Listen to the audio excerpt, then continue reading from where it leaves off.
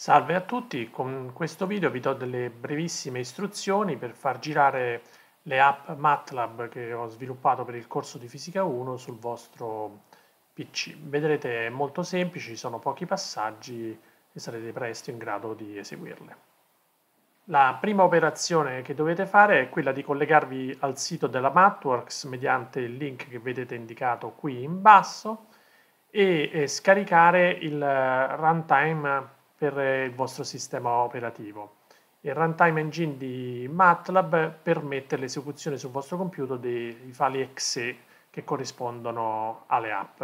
Basta cliccare sul link e vi troverete sulla pagina di MATLAB dove vedete eh, ci sono le ultime versioni della runtime engine per sistemi Windows, Linux e Mac.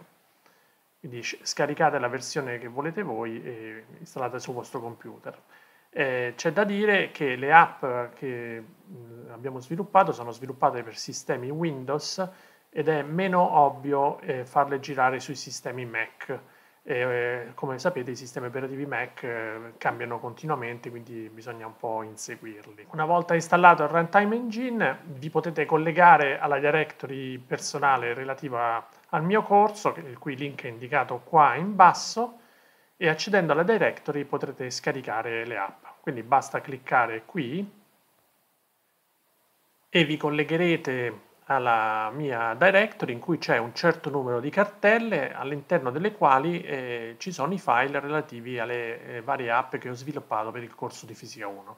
Ad esempio se aprite la prima cartella relativa al moto rettilineo uniformemente accelerato, eh, vedrete che ci sono tre file, un file exe che corrisponde all'app stessa, un file readme.txt in cui vengono date le istruzioni per eseguirla e in particolare vengono ripetute le istruzioni per installare il runtime engine di MATLAB e c'è una figura splash png che è una figura che viene lanciata quando l'app viene eseguita. Potete ehm, copiare i file in una directory di vostra convenienza, io l'ho fatto sul mio computer, eccola qui la directory, e potete eseguire il file comodamente. Viene lanciata la figura splash che graficamente vi dice a che cosa si riferisce l'app e ci potrebbe volere eh, un minuto circa perché il sistema operativo esegua eh, l'app eh, a causa di quello che è necessario per l'interprete per farla eseguire.